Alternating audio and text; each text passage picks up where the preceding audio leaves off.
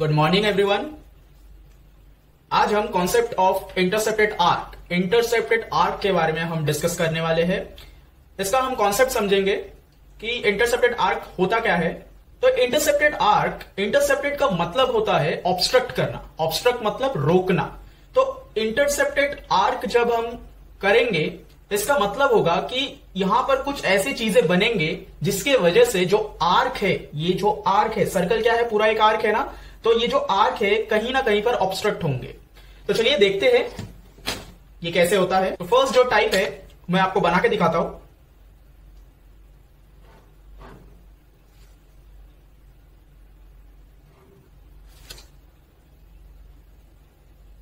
अब जब हमने सेंट्रल एंगल पढ़ा था सेंट्रल एंगल में क्या हुआ था कि ये जो दो रे है, ये दो रे हमने सेंटर से पास किया था। तो सेंट्रल एंगल क्रिएट हो रहा था। नाउ अब क्या कर रहे हैं हम? यही दो रे को हम सेंटर के बजाय सर्कल के दूसरे एंड पे उसको टच कर रहे और वही रे कंटिन्यू आ रहा है। अब सेंटर से आप पास करो या उसके पीछे से आप पास करो बट आके वो यहाँ पर दो इंटरसेक्शन पॉइंट बनाएँगे। ये रे ने क्या किया? इस आर्क को इंटरसेप्ट कर दिया। इंटरसेप्ट का मतलब हुआ, ये आर्क यहाँ से यहाँ तक लिमिटेड हो गया। ये अब आगे नहीं बढ़ सकता। ऐसा हो गया। तो इसको अगर हम नाम दे दे ए बी सी तो यहाँ क्या हुआ है? एंगल ए बी सी के वजह से एक इंटरसेप्टेड आर्क बना है, और वो आर्क का नाम क्या है? ए सी अब अगर ये जो यहाँ पर टच हो रहा है, इसको अगर हम टच यहाँ पर ना करके, अगर यहाँ पर रखे तो कुछ इस तरीके से तो भी क्या इंटरसेप्ट आर्क बनेगा? तो हाँ, बनेगा। आपको सिर्फ़ यह ध्यान रखना है कि जब भी हम इंटरसेप्टेड आर्क बना रहे हैं या उसको पहचानने की कोशिश कर रहे हैं तो उसमें दो ऐसे रे होने चाहिए मींस एक एंगल क्रिएट होना चाहिए एंड दो इंटरसेक्शन पॉइंट होना चाहिए। एक स्टार्टिंग एक एंडिंग आप इस, किसी को भी स्टार्टिंग एंडिंग बोल सकते हो, लेकिन एक स्टार्टिंग एक एंडिंग पॉइंट होना चाहिए। एक और टाइप का है जो कि कुछ इस तरीके से है। इसको नाम दे देते हैं पी क्यू आर यहाँ पर नाम देते हैं, देखिए, यहाँ पर इंटरसेक्ट हो रहा है तो एस यहाँ पर एक है टी यू अब देखिए, इस वाले में पी क्यू आर एंगल के वजह से एक इंटरसेप्टेड आर्क क्रिएट हुआ है। वो आर्क का क्या नाम है? पी आर ये वाला होता है इंटरसेप्टेड आर्क इसमें ये वाला था इंटरसेप्टेड आर्क अब इसमें, देखिए एस टी जो बना है, इसका भी एक स्टार्टिंग पॉइंट है, यहाँ पर जो इंटरसेक्ट हो रहा है। एंड यहाँ से ये जब इस तरफ़ आया तो यहाँ पर भी एक एंडिंग पॉइंट है, जहाँ पर इंटरसेक्ट हो रहा है। तो यहाँ पर भी एक आर्क इंटरसेप्ट हुआ है। तो उस आर्क का नाम क्या है? एस यू ये यू है ना? ओके तो एस यू तो ये एंगल के वजह से एक इंटरसेप्टेड आर्क जो क्रिएट हुआ, वो है एस यू इंटरसेप्टेड आर्क का मतलब होता है कि ये आर्क अब क्या हो गया है? ऑब्स्ट्रक्ट हो गया। ऑब्स्ट्रक्ट मतलब उसको रोक दिया गया है कि यही तलक वो आर्क माना जाएगा, यहाँ से नहीं। यहाँ से आगे का वो नहीं। यहाँ तक ही वो इंटरसेप्टेड आर्क है। इंटरसेप्टेड आर्क एंगल के अंदर जितना आर्क है, वही इंटरसेप्टेड है सिर्फ़। ठीक है? एंगल के इंटीरियर में जो आर्क है, वही इंटरसेप्टेड आर्क है सिर्फ़। एंगल के बाहर जो है, वो इंटरसेप्टेड आर्क नहीं है। तो यहाँ पर भी एंगल के अंदर यही वाला आर्क था तो ये इंटरसेप्टेड आर्क है, ये इंटरसेप्टेड आर्क है एंड ये इंटरसेप्टेड आर्क है। बाहर का हिस्सा इंटरसेप्टेड आर्क नहीं बोला जाता। सिंपल था? ओके अब देखिए, यहाँ पर मैंने जितने भी एंगल बनाए, उसमें सिर्फ़ एक एक इंटरसेप्ट आर्क बने हैं। अब मैं जो बनाऊँगा, उसमें दो इंटरसेप्ट आर्क आएँगे। वो कैसे होगा देखिए।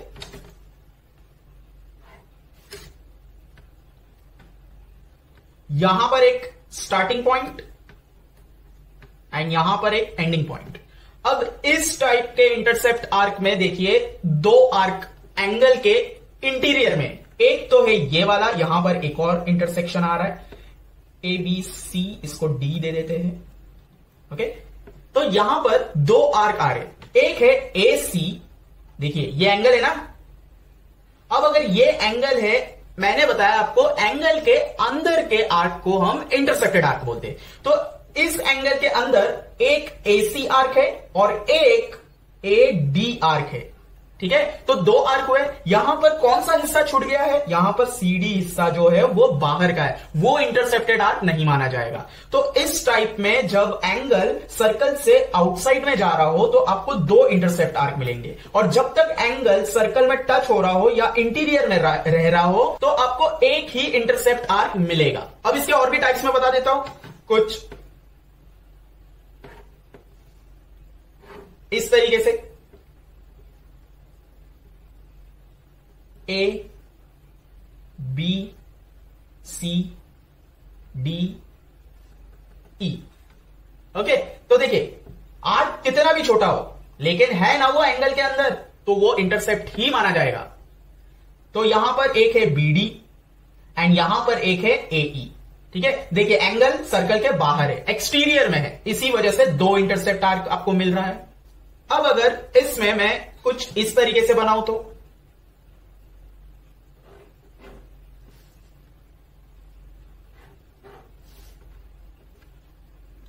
ये दोनों में फ़र्क है। साइड से गया साइड से गया, लेकिन दूसरा वाला अंदर से गया था, लेकिन यहाँ पर भी दूसरा वाला साइड से गया है। तो यहाँ पर भी जो आर्क हमें मिलेगा, वो दो मिलेगा। देखिए, यहाँ पर इंटरसेक्शन पॉइंट एक ए बी इसको ओ दे देते हैं नाम। अब देखिए, यहाँ पर एंगल के अंदर इंटीरियर में एक ये आर्क है ए बी ठीक है?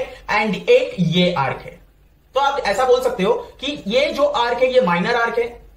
अब आप यहाँ पर भी एक, कोई एक नाम दे सकते हो ताकि माइनर आर्क और मेजर आर्क में हम डिफरेंस पता कर सके। तो दोनों आर्क के लिए नाम एक्चुअली सेम ही है A B and A B तो यहाँ पर जो पूरा सर्कल है, वो एंगल के अंदर इंटीरियर में ही कवर हो गया है। तो यहाँ पर जो इंटरसेप्टेड आर्क है, वो दो है।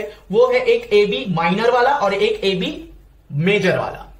आपको इंटरसेप्टेड आर्क के बारे में मैंने जो भी अभी बताया आई होप आपको पूरा अच्छे से समझ में आया होगा। ये कॉन्सेप्ट बस आपको समझना है कि इंटरसेप्टेड आर्क होता क्या है? इंटरसेप्टेड आर्क जो एंगल हम सेंटर से ना बना के, अगर सर्कल के कहीं पर भी इंटीरियर में बना रहे, या सर्कल के आर्क में टच करके बना रहे, या उसके बाहर बना रहे, लेकिन हमें हर बार एक स्टार्टिंग पॉइंट एक एंडिंग पॉइंट ओके एक स्टार्टिंग पॉइंट एक एंडिंग पॉइंट अगर हमें मिल रहा है, ठीक है तो उस एंगल के अंदर जितने सारे आर्क होंगे, वो सारे क्या होंगे? इंटरसेप्टेड आर्क तो यहाँ पर ये है अंदर, ये है, ये वाला, यहाँ पर दो मिल रहे हैं क्योंकि एंगल जो है वो सर्कल के बाहर है और बाहर होने की वजह से हमें दो आर्क एंगल के अंदर मिल रहे ओके तो ये हुआ इंटरसेप्ट आर्क का कॉन्सेप्ट क्लियर आपको बस इतना ही ध्यान रखना है कि इंटरसेप्ट आर्क को आप पहचानेंगे कैसे? तो इस तरीके से आपको इंटरसेप्ट आर्क को पहचानना है।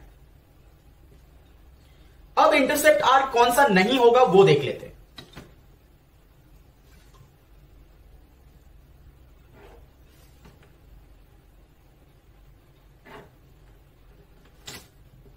इस वाले में, इस वाले में एंड इस वाले में। तीनों में देखिए डिफरेंस है इसमें। क्या डिफरेंस है? इसमें ना, दो रे बनाने के बावजूद हमें दो एंडिंग पॉइंट नहीं मिल रहा है। मतलब एक स्टार्टिंग हो के एक एंडिंग में नहीं मिल रहा है आर्क में। आर्क में देखिए, क्या हो रहा है? यहाँ से चालू हुआ। ये वाले रे में तो चलो एक पॉइंट हमें मिल गया।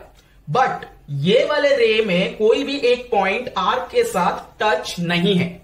तो नहीं होने के वजह से ये वाला इंटरसेप्ट आर्क नहीं माना जाता है। क्योंकि यहाँ पर जो एंगल क्रिएट हो रहा है, वो बाहर तो है। लेकिन ये जो रे है, वो सर्कल के साथ टच नहीं है। और टच ना होने की वजह से एक स्टार्टिंग पॉइंट तो मिल गया। बट आर्क के खत्म होने के लिए दूसरे वाले रे में हमें एंडिंग पॉइंट की ज़रूरत पड़ती है हमेशा। ऐसा नहीं होना चाहिए कि एक ही रे में आपको दो एंडिंग पॉइंट मिल गए हो तो आप बोलोगे कि हाँ ये भी इंटरसेप्टेड आर्क है। नहीं। ऐसा नहीं होता। एक रे में एक ही स्टार्टिंग पॉइंट होना चाहिए एंड इसका दूसरा एंडिंग पॉइंट दूसरे रे में सर्कल का कोई एक हिस्सा टच होना चाहिए, वो उसका एंडिंग पॉइंट माना जाएगा। तो यहाँ पर ये जो गैप है, इस गैप के वजह से ये इंटरसेप्ट आर्क नहीं माना जाता है। ओके तो ये वाला एक नहीं है। एंड अगर मैं दूसरा भी एक बनाऊँ, जैसे अब देखिए, ये तो टच ही नहीं है। तो टच नहीं है कॉन्टैक्ट पॉइंट ऑफ़ कॉन्टैक्ट भी नहीं है। ना ही स्टार्टिंग पॉइंट है, ना ही एंडिंग पॉइंट है। तो ये भी इंटरसेप्टेड आर्क नहीं है। तो ये आपको ध्यान रखना है। कि एंगल के अंदर हमको सर्कल दिख रहा है मतलब पूरा सर्कल है इंटरसेप्टेड ऐसा नहीं है। ठीक है? तो कौन से कौन सी चीज़ें आपको याद रखनी है? एक तो starting point and ending point दूसरा इंटीरियर में होगा या सर्कल के आर्क में टच होगा तो आपको एक ही इंटरसेप्टेड आर्क मिलेगा। वहीं पर अगर वो एंगल सर्कल को क्रॉस करते हुए बाहर अगर एंगल बनाएगा तो आपको दो आर्क मिलेंगे। सेम थिंग में अगर हम और आगे देखें तो उसके दोनों रे में सर्कल टच होना चाहिए और हमें एक स्टार्टिंग पॉइंट एक एंडिंग पॉइंट मिलना चाहिए। तभी वो इंटरसेप्टेड आर्क माना जाता है। एक ही रे में हमको दो पॉइंट अगर मिल भी गए तो भी वो इंटरसेप्टेड आर्क नहीं माना जाएगा। उसी तरह अगर टच नहीं है, लेकिन सर्कल उस एंगल के अंदर है, इस लाइन को अगर मैं और बड़ा कर दू तो सर्कल उसके अंदर ही आ गया। तो इसका मतलब ये नहीं कि वो इंटरसेप्टेड आर्क है, क्योंकि पॉइंट ऑफ़ कॉन्टेक्ट ही नहीं है तो स्टार्टिंग और एंडिंग पॉइंट तो है ही नहीं। इस वजह से वो इंटरसेप्टेड आर्क नहीं माना जाएगा। ओके सो आई होप आपको स्टेप बाय स्टेप समझ में आया होगा कि इंटरसेप्टेड आर्क क्या होता है, आपको कैसे इसको पहचानना है। अब हम इसके बाद वाले वीडियो में ये डिस्कस करेंगे कि इंटरसेप्टेड आर्क के अलावा जो एंगल क्रिएट हो रहा है, उसका नाम क्या है? उसका नाम इंस्क्राइब्ड एंगल है। तो इंस्क्राइब्ड एंगल की क्या क्या प्रॉपर्टीज़ है, वो हम डिस्कस करेंगे नेक्स्ट वीडियो में। वीडियो अगर आपको अच्छा लगा तो लाइक कीजिए शेयर कीजिए। शेयर तो आप ज़रूर कीजिए अपने फ्रेंड्स और अपने फैमिली मेंबर्स के साथ, ताकि जितने भी स्टूडेंट्स हैं, सबको ये कॉन्सेप्ट पता चले। एंड चैनल को सब्सक्राइब ज़रूर कीजिए, ताकि मैं कोई भी नया वीडियो अगर अपलोड करूँ तो आपको नोटिफिकेशन मिल जाए। Thank you